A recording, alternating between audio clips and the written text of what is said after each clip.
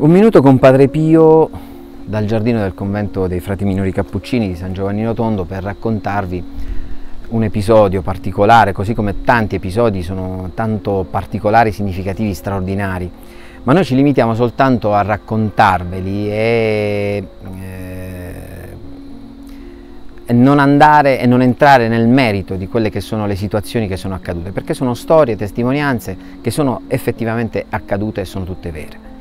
È padre Marcellino Iasenzaniro che ci racconta quello che è accaduto a Lucia e Ignazio Merendino, anzi al figlio di questi due coniugi, Mimmo. Mimmo eh, era un ragazzino che aveva sempre un mal di testa atroce.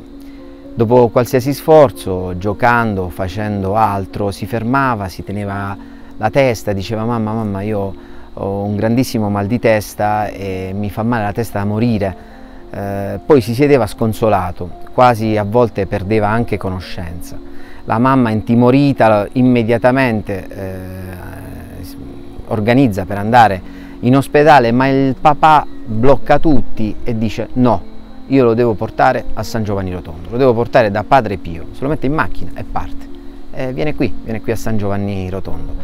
Quando arriva dinanzi a Padre Pio riesce ad incontrarlo, perché come ben sapete c'era un sistema di prenotazioni, di visite, quindi non era molto facile, semplice incontrare Padre Pio, riuscì ad arrivare accanto a Padre Pio e disse, padre, mio figlio ha questo forte mal di testa, sta malissimo, a volte perde anche conoscenza. E lui disse, ma fallo visitare, fallo visitare da qualche medico, io pregherò, pregherò perché il Signore lo illumini nel fare una diagnosi ma Ignazio, eh, il papà di, di, Mimmo, era insoddisfatto. Allora, quando andò via, chiese ad una sua figlia spirituale, Maria Tagliaviva, ehm, di eh, intercedere, ecco, di, di, di, chiedere ancora a Padre Pio eh, su, sul bambino, ecco, chiedere qualcosa, una risposta più chiara. Allora la buona figlia eh, spirituale lo fece, andò da Padre Pio e disse, Padre Ignazio, il papà di quel ragazzino, di Mimmo, eh,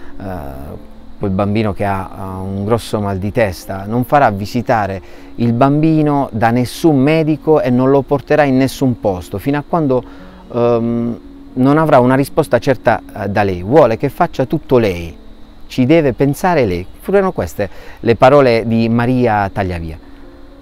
Al che Padre Pio racconta, uh, Padre Marcellino nel suo libro di testimonianze, il padre eh, alzò la testa al cielo come spesso faceva eh, dopo aver ascoltato eh, una piccola pausa e disse e va bene e poi andò via. Beh, sta di fatto che eh, Mimmo non ha avuto più niente, non ha avuto più nessun mal di testa.